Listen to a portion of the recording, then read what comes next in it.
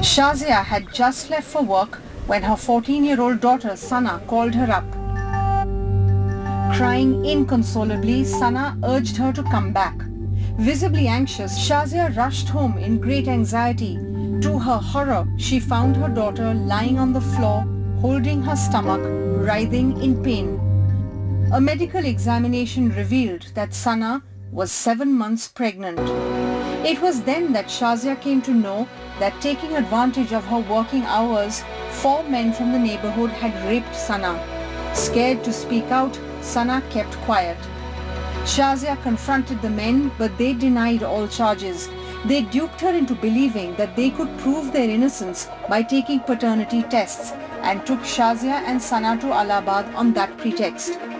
Shazia was locked up in a room and Sana was taken away forcefully to an abortion clinic. Hours later, when they brought her back, she was bleeding profusely.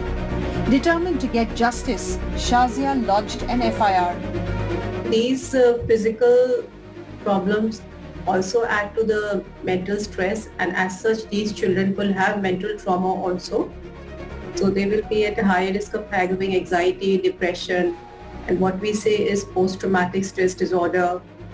So even the mental trauma can you know affect their physical health also because they are not able to sleep they may not eat well they may get withdrawn they may not study properly so i think it's closely related both the mental and physical health which gets affected for these children the Child Welfare Committee appointed Kailash Satyarthi Children's Foundation sister organization Bachpan Bachao Andolan as a support person.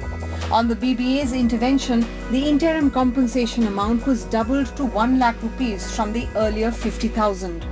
While three of the accused are in judicial custody, one is out on bail.